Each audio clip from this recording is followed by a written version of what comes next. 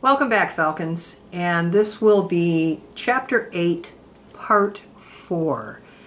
And now we've got our muse, our object of focus, back in the room after a potty break and the first up uh, first video being uploaded and the time that that took. He decided to come out and join us, so that's good.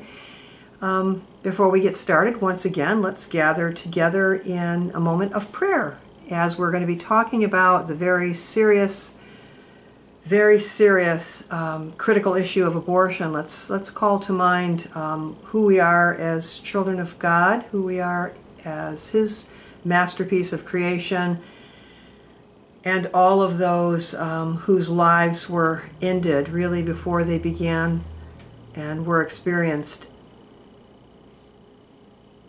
So let's just take a moment and call to mind um, again being in God's presence.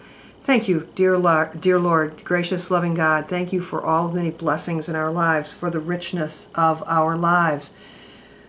Uh, thank you for all the blessings and the gift of our life. Um, again, on this Mother's Day, that our mothers recognized the gift of who we are as your masterpiece and, and gave birth to us, Lord, in accordance with your plan so we pray for all of the unborn whose lives were ended brutally, without reason, without purpose, uh, with abortion. We pray for them. We pray for a healing for all of the people involved in the abortion industry and those who, in fact, have sought them. We pray for their healing, that they may truly know your mercy and your love. Um, we pray for an end to this heinous practice. We pray Lord, for all of the people who have asked for our prayers, for these and for all of our needs and all of our intentions. We pray with confidence in the name of Jesus. Amen. In the name of the Father, and the Son, and the Holy Spirit. Amen. Okay, so we're talking Falcons, and it's chapter 8. Again, PowerPoints are out. Text, hopefully you've read the text by now. I'm, I'm asking that you watch this video, I'm thinking by, you know, Thursday, just like last week. And following along, taking notes, updating your vocab, please writing down any questions that you might have. Abortion. Abortion. This medical procedure very often, um, albeit a legal medical procedure, the deliberate killing of an unborn human life, a, a great evil, a, a, serious sin, right? Um, just a tremendous issue in our in our culture right now. Very controversial, very political. But let's talk about let's talk about exactly um, what we mean when we either support the medical legal medical procedure of abortion or we oppose to it. At the very least, we should know you know what it is. Again, murder is the deliberate, intentional, willful taking of a human life without provocation or cause. An unborn human being represents the essence of innocence. They have done nothing. They have done nothing. They're, they have not attacked anyone. They pose no threat to anyone. Um, to deliberately take their life is murder. Whether it's legal or not doesn't change the fact that it meets that that definition, you know, and that criteria. It is incorrect it is erroneous, it is incorrect, it is not helpful to compare abortion with capital punishment or with the death of someone in the line of duty of a police officer or military type of person. In those cases, the death is brought about because of the actions, free will, and choices of human beings in abortion, there's no action that the unborn are taking that contributes to their death. They have not done anything. They've not exercised their free will. They've not been given an opportunity to exercise their free will. So it is incorrect to compare them. And again, the church's teaching on this issue is consistent, like a straight line, like you were drawing a straight line and looking at it on the board. It, the church is steady from the moment of conception until natural death, it is the culture that is all over the place on the issue of abortion. Um, regardless of the position on abortion, to uh, support it, to uh, condemn it. Again, let's be let's be really clear about what we're talking about. And what we're talking about is a human being. It is a human being. It is a living human being. It is a human being from the moment of conception. And for this, we can turn directly, praise God, to science. We have it in our scriptures, and we've had it in our scriptures, and uh, for thousands of years, where we see, you know, this passage from Jeremiah that, you know, before you were born, God, God knew us. God knew you in the womb, right? Formed you into being, and so forth, right? But now we have science that backs that up. We have the science to prove that at the moment of conception, when that sperm enters the ovum, you have um, cellular division beginning with this burst of power, and there's a name for it that eludes me at the moment, but you have cellular division. You have um, a full set, a full and complete set of human DNA. It is it is alive. It is cellular division. It is dividing. What you have is a human being in the process of development, beginning with a human zygote and a human embryo and a human fetus and a human newborn and a human toddler and a human preschooler and a human elementary and so forth and so on. Throughout our development, what you have is a human being in the process of development. When you disagree, when a person disagrees that human life begins at the moment of conception, logically speaking, the question that begs to be answered is okay, if it doesn't begin at conception, when exactly does it begin? And that's what you get. You get awkward silence because we realize that to answer that question, you got to recognize that then it becomes a matter of a subjective opinion. I guess it, it depends on who you ask if human life doesn't begin at the moment of conception, the way that science attests to, the way that the church believes, right? Well, when does it begin? And now we see, well, like, you know, all over the place. It depends on on who you ask. Some people for a long time felt that it began the first time that the mother could feel movement in her womb or uterus. It's a, a condition called quickening oh, now human life begins. For some people, it was believed that um, when the fetus could survive outside of the mother's womb, when it was viable outside of the mother's womb. Well, um, science and medicine have, wow, just developed and improved so much that that changes daily. A hundred years ago, if a baby was born when the woman was six months pregnant, it had a 99.9%, if not greater, probability of dying. It could not survive. That's not true today. There, you know, on a daily basis, it seems like science and medicine improve and increase the, the survivability of a child that's born prematurely.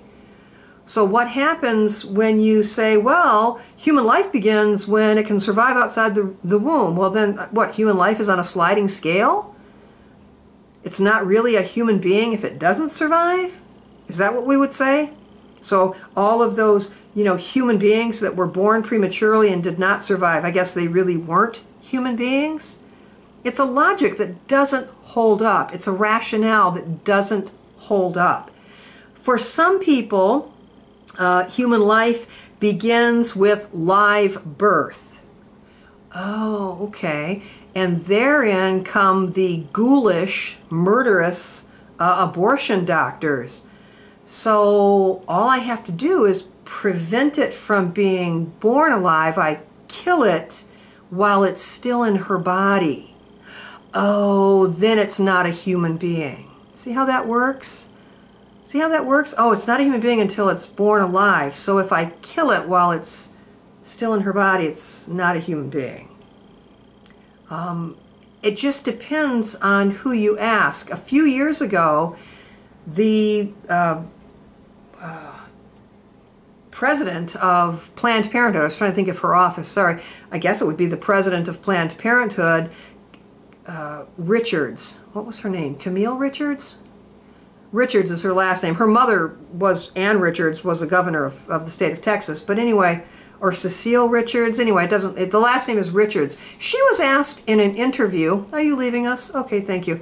Um, she was asked in an interview on this very issue. When does human life begin? And she wouldn't answer it. She balked, and there was a hesitation, and you know, awkward, you know, silence and pause, and she wouldn't answer the question. And they pressed her on it. They, whoever was doing the interview pressed her on it a little bit. When does human life begin?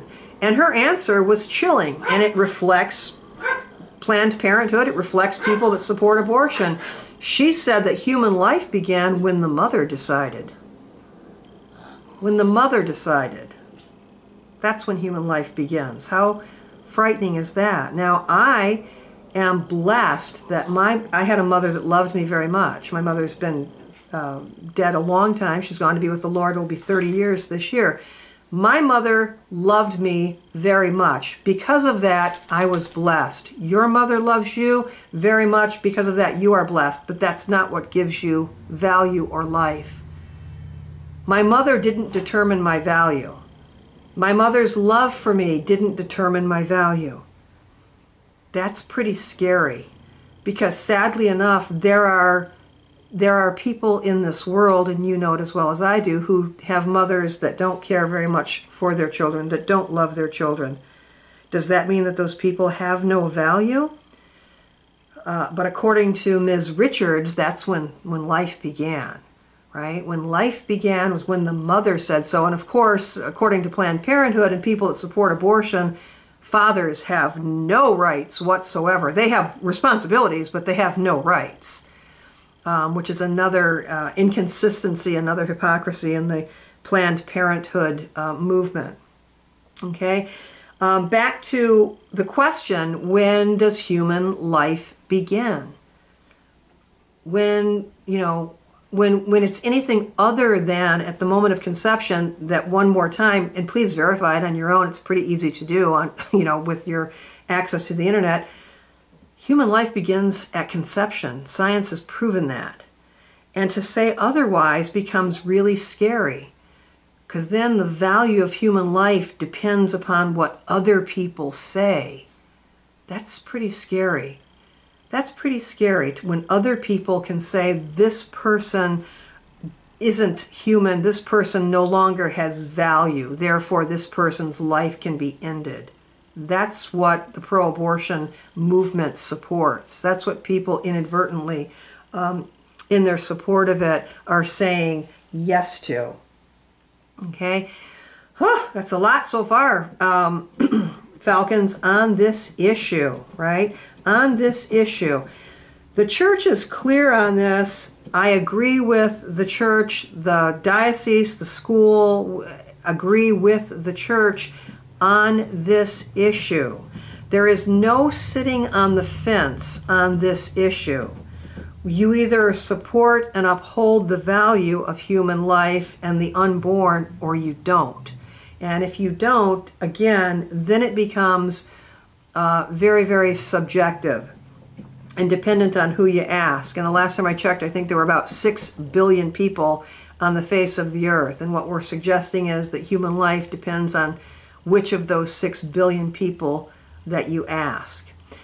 Okay, so um, as I'm looking and we're talking about this issue, and I'm sorry that we're not in class, I really am. I feel so passionate about this issue, and I love to be able to discuss it and to go through it. And I'm so, so sorry um, that we're not able to do that. So I'm going to do my best to deal with it here. Um, on the issue of abortion, which was made a legal medical procedure in uh, with the Supreme Court decision of Roe v. Wade, And in that Supreme Court decision, the justices, as part of their decision, said that this was a medical matter between a woman and her physician.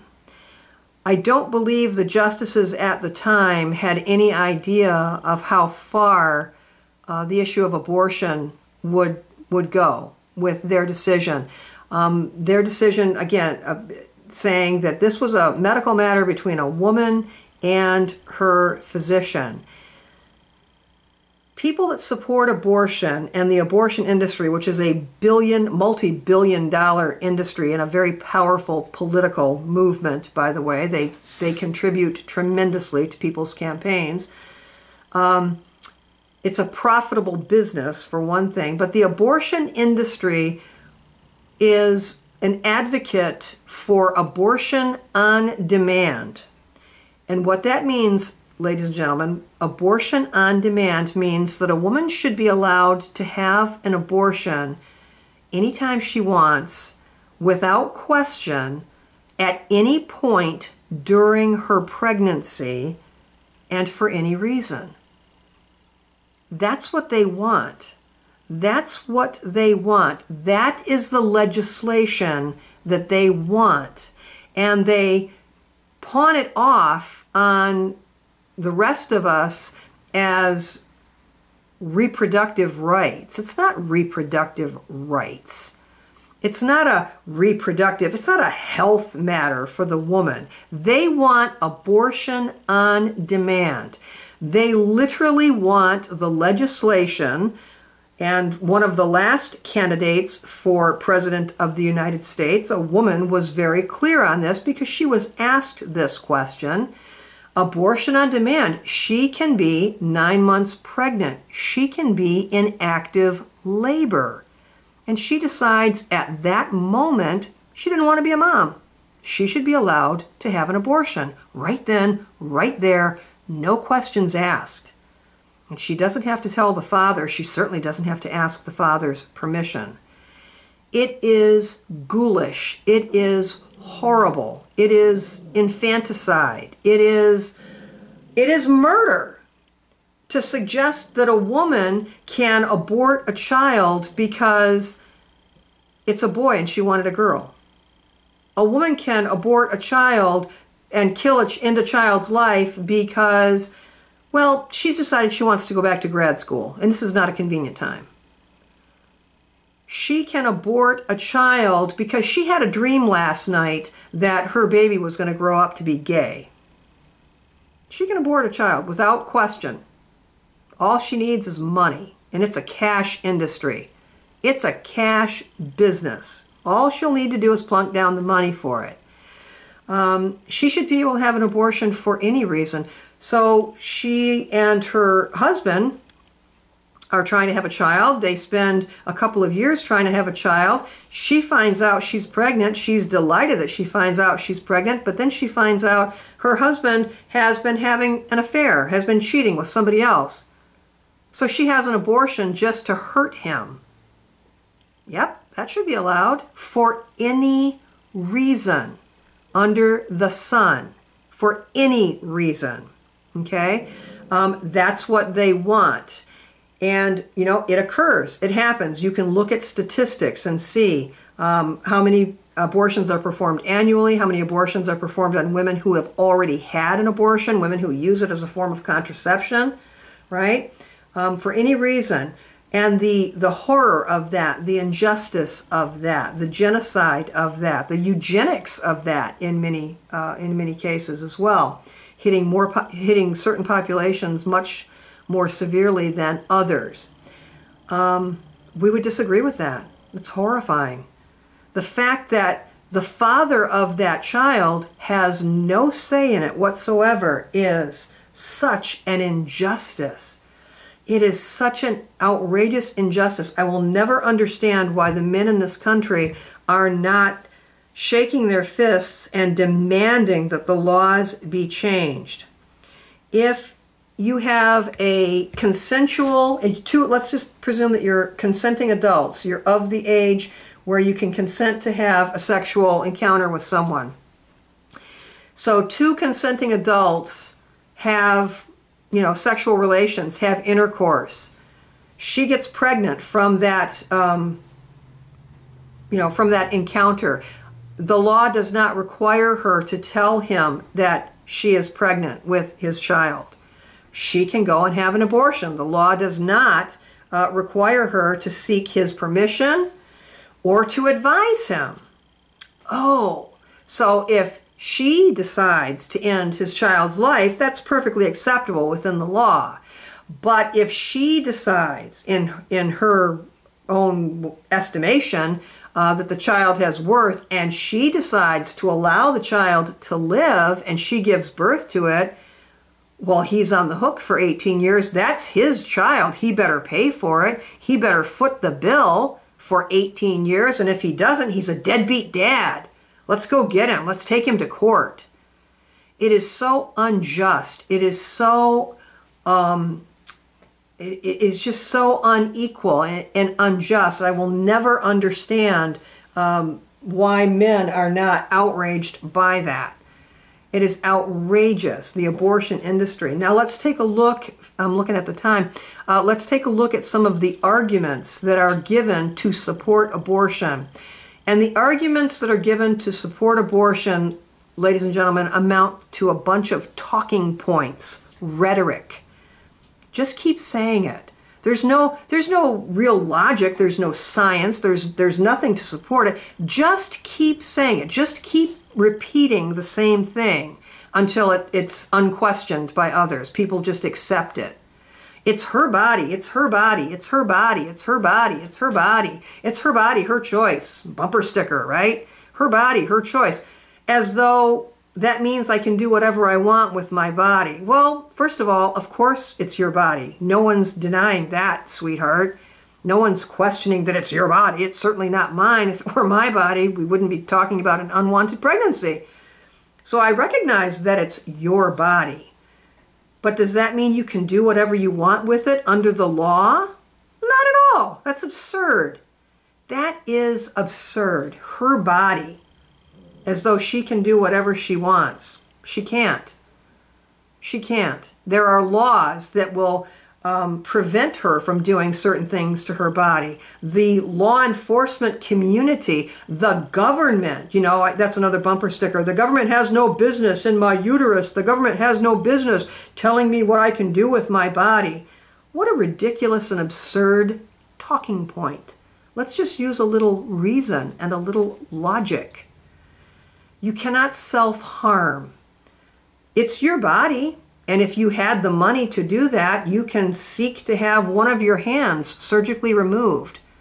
You're not going to find any doctor in the United States of America that would not be allowed. But wait a minute, it's your body and you can afford it. You don't even have to worry about insurance. Just pay someone to surgically remove one of your hands. No, that's not going to be allowed. Okay? It's your body. Nonsense.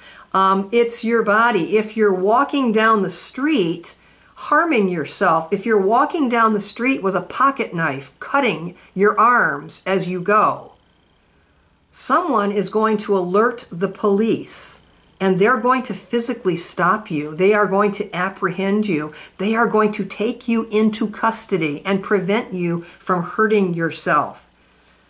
They will put you into a psychiatric lockdown if need be for your own protection. Should we do away with those laws? Should we do away with those laws? Should we just be able to hurt our bodies if we want to because it is my body? And this is um, this is a really serious point, and I and I'm I'm hoping I'm not causing too much pain, but I want you to think about it because it dispels the ridiculous argument of people who say, it's my body. If that's true, if that's true, if it's my body, meaning I can do whatever I want with my body, and the government has no business telling me that I can't do something, well, then, for goodness sakes, what in the world would be wrong with suicide? If that nonsense, and that's what it is, were actually true, what could possibly be wrong with someone saying, I'm tired. I don't like my life anymore. I'm tired of living. I'm tired of living in quarantine. I'm tired of living in, in isolation. So I'm going to choose to end my life. You know, my body? Do you know that um, government agents, uh, representatives of the government, first responders, police, um, you know, EMTs, fire, rescue, they would break down my door if they had reason to believe that behind my locked doors of my home that I have a mortgage on, that I pay the taxes on, and if they had reason to believe that I was going to harm my body and end my life, end the life of my body by my own choice, they would break the door down to stop me. And they should. And you see, the church would be consistent. Our belief in the value and dignity of human life is consistent and say, absolutely. No, you can't, I'm sorry, we can't let you harm yourself. We cannot let you harm yourself. We can't let you harm yourself. We can't let you harm others. Right? But see what happens to the argument of it's my body, it's my body. There are people who are not, um, who would certainly pass, let's put it that way, people who would pass a psychological evaluation who would then go on and take their own life. Medically speaking, psychiatrically speaking, they would pass all of the assessments and then would go on to take their own life. How could anyone with this nonsense of my body, my choice put up an argument against it? Oh, yeah, see, they can't. And what we do is, what, what, what happens is we're revealing this for what it is. It's a talking point, it's a bumper sticker, and it's old and it's tiring and it doesn't hold up. My body, my choice. Nonsense. That doesn't mean that you can do whatever you want without interference. Absolutely not. Okay. Um, second point on uh, the abortion issue, on the on the talking points, um, if someone is against abortion, immediately it's it's it's really very sad and pathetic. But immediately, one of the first criticisms that they'll face is, "Oh, really? It, it, it, even in rape and incest, even in rape and incest, and it's it's a poor, disingenuous response. It is disingenuous. It's actually insulting. It's actually insulting um, to suggest, uh, you know, that someone has no compassion or that uh, we're going to exploit the victims of sexual abuse to support abortion.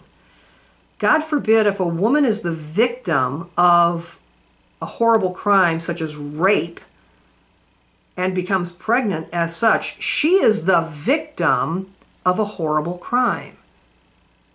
If a pregnancy ensues, her unborn child is an innocent victim of a horrible crime. So, in answer to that question, no, I, I don't believe we should kill children because their parents are criminals. I reject that. That doesn't make sense. Should we kill all of the children of rapists or only the unborn?